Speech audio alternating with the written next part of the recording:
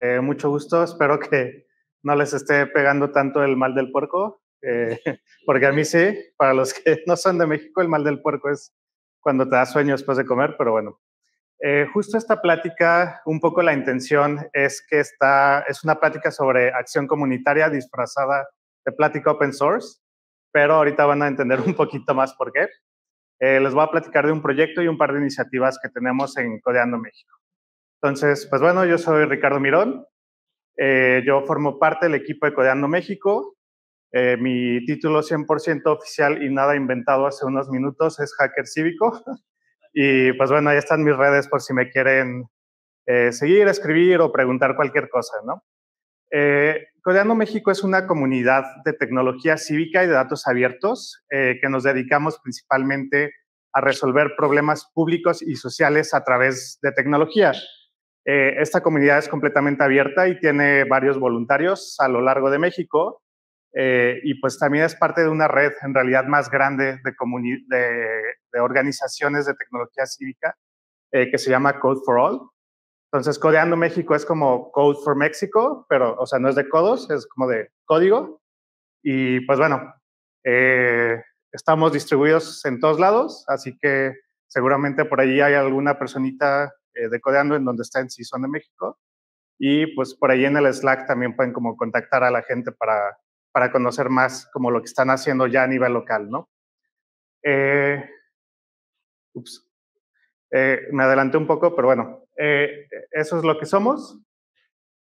Ahora quiero preguntarles algo que sé que no va a hacer que muchas manos se levanten, que es, ¿quién de ustedes, quién de aquí y también de los que nos están viendo, conoce quién es el, su diputado local que lo representa en su distrito.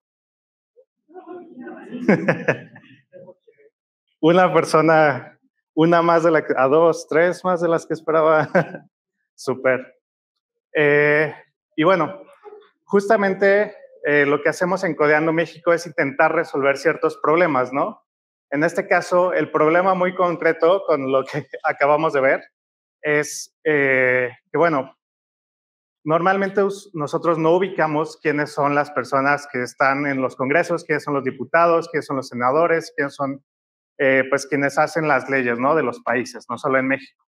Y esto no es porque nosotros quizás no querramos conocerlo, es sino porque pues esa información no es tan accesible, ¿no?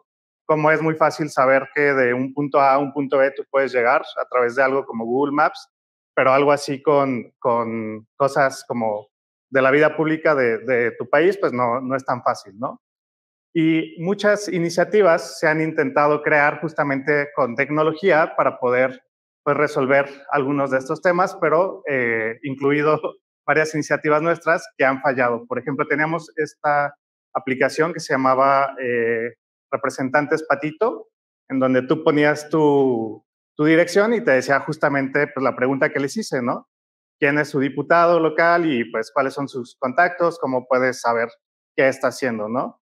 Obviamente esta eh, aplicación no funcionó porque, pues para empezar, diferentes eh, congresos tienen diferentes eh, tipos de información que publican o no publican. También, pues bueno, en realidad no, no, hay una manera única en cómo se publica la información y esto, mantenerlo a largo plazo, una persona tendrá que estar ahí literal pues manualmente actualizando todo, ¿no? Y no es, no es tan posible.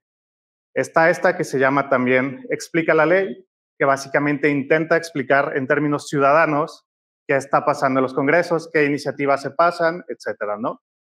Eh, esto tampoco funcionó porque eh, la idea era que los abogados nos iban a ayudar a los tecnólogos a poder ponerlo disponible de manera sencilla, pero el problema es que ni siquiera los abogados se ponían de acuerdo en qué significaban las leyes, ¿no? O las iniciativas.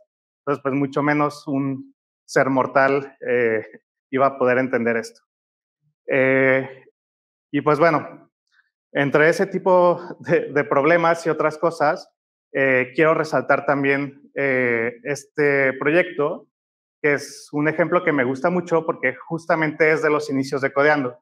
Codeando ya tiene aproximadamente 10 años, el próximo año cumplimos 10 años, y esta es eh, una de las primeras cosas que se hizo. No sé si alguien alguna vez llegó a ver esto, pero eh, fue un poco viral antes de que existieran eh, TikTok y cosas que hacen cosas muy virales. Pero bueno, es esta noticia de cómo el Congreso quería pagar 115 millones por una aplicación, ¿no? Que básicamente tomaba lista de los diputados y poquito más. Justamente hubo como un buen de, pues, movimiento sobre esto y, conversación porque pues era algo que pues claramente era descabellado para el tipo de aplicación que era. Y pues ahí se abrió y se hizo, digamos, el primer ejercicio de participación ciudadana de Codeando, en donde se abrió una convocatoria y la comunidad lanzó este reto en donde pues cualquier persona eh, o equipo podía diseñar una app y el premio era 0.01% del contrato original, o sea, como 15 mil pesos. Eh, y un poco el mensaje era que pues obviamente la gente no lo hacía por el dinero, sino que lo hacía porque quería pues que no nos vieran la cara, ¿no? Con el, con el dinero que costaba esa aplicación. Se inscribieron más de 150 proyectos, más de 10 aplicaciones se mandaron a las diferentes App Stores y Play Stores y se mandaron al Congreso, eh, las cuales eh, ignoró completamente, pero dejó un mensaje muy claro. Eh, y el contrato fue al final desechado y no se hizo. y pues bueno, ¿por qué hablo de esto en una conferencia open source que tiene que ver con tecnología, que tiene que ver con, con todo esto? en realidad el contexto es que pues, nos debería importar a nosotros como ciudadanos porque justamente eh, la vida pública determina muchas de las cosas en cómo eh, pues, tanto las aplicaciones eh, privadas o negocios o nuestras vidas personales se ven afectadas por este tipo de cosas, ¿no? Los congresos son responsables de los derechos que nosotros ganamos o perdemos como ciudadanos. no sé quién de aquí, por ejemplo, tenía eh, solo los días mínimos de vacaciones y ahora automáticamente tiene 12. Eh, también, eh, en general, abrir datos casi siempre se ve como en temas desde pues que el presidente y que cuánto gana esto y cuánto se gastaron en aquello, pero muy poco se enfoca como en estos procesos que a lo mejor las personas vemos como más tediosos, ¿no? Y pues bueno, esto va obviamente en el contexto en el que estamos intentando estandarizar los datos de, los congresos y que pues ahorita cada congreso lo genera de manera completamente distinta, si es que lo genera, ¿no?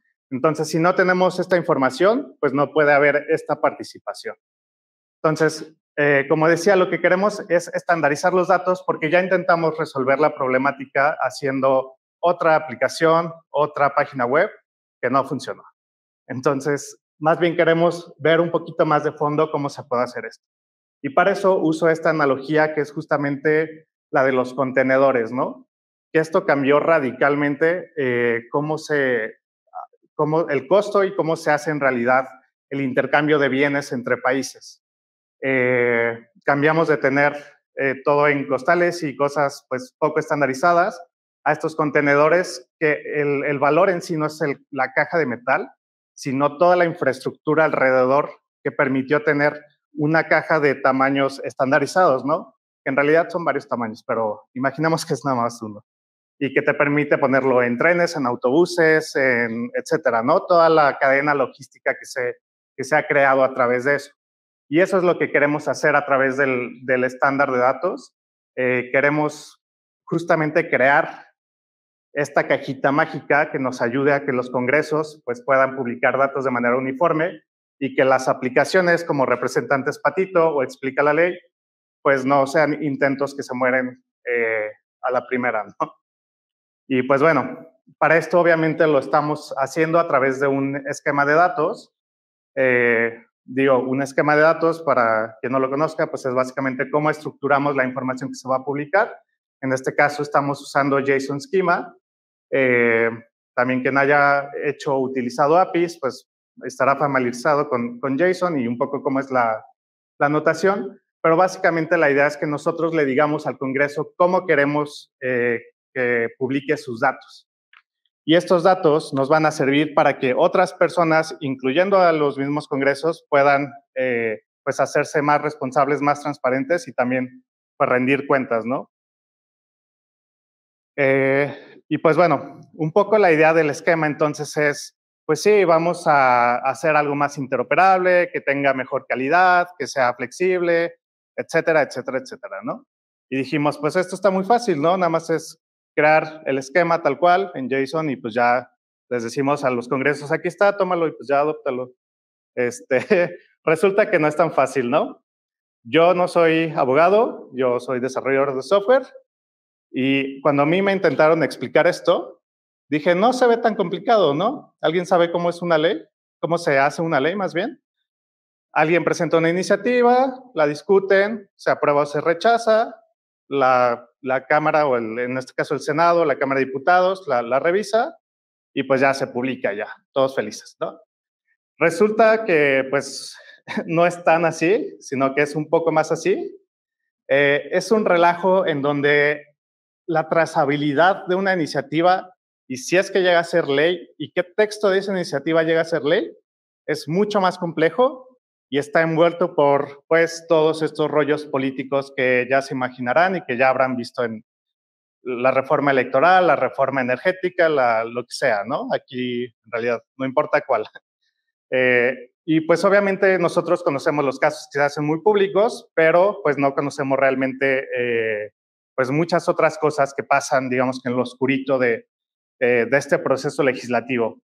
Y es por eso que nos topamos con esta dificultad de que nosotros, al ser tecnólogos, un poco inexpertos en el tema del, del proceso legislativo, que pues bueno, dijimos, no, no, no podemos hacer esto solos, y pues un poco la idea es que podamos aprovechar a la comunidad, en este caso eh, la comunidad open source, y abrir el desarrollo de este estándar para que más personas y más ojos nos ayuden a resolver un poco de estos problemas que están eh, presentándose para poder darle esta trazabilidad real a los datos de los congresos, ¿no?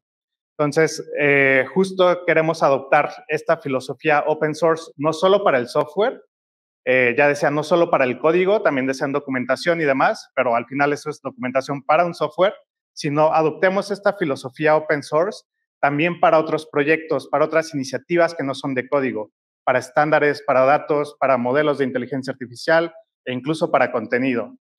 Entonces, lo que queremos lograr con abrir este estándar es justamente que la comunidad se involucre, que exista una adopción flexible del estándar que también para los congresos sea sencillo adoptarlo sin que requiera eh, un montón de inversión desde su parte, porque ese es uno de los principales como bloqueos que hemos visto cuando les hemos presentado este proyecto, que obviamente sea un estándar más transparente, en donde si Juanito dice, pues yo quiero que, aparte del nombre de mi representante, pues me diga eh, en qué estuvo trabajando esta semana, ¿no? ustedes pueden ir literal al GitHub y decir, esta es mi propuesta de, lo que ven, de la información que debería venir en el estándar y es lo que los congresos entonces deberían de abrir, ¿no?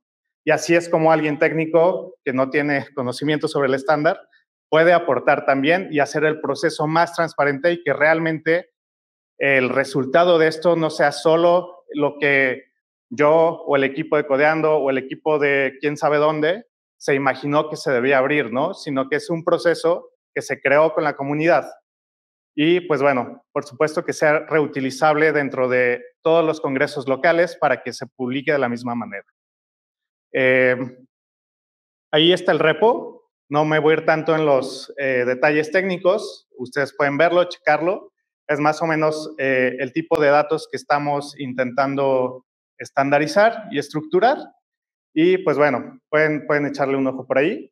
No es necesario que sean eh, expertos en el proceso legislativo, pueden entender lo más básico, pero si son expertos en datos, si son expertos en usabilidad, si son expertos en eh, cómo crear modelos o aplicaciones a través de APIs, definitivamente pueden aportar este proyecto y pues saber un poco eh, que, lo que están haciendo al final del día va a ser adoptado por ciertos eh, congresos con los que ya, eh, digamos, se comprometieron a adoptar este estándar y van a ayudar a crear, a su vez, otras aplicaciones en las que quizás en algún punto van a terminar siendo usuarios finales, ¿no?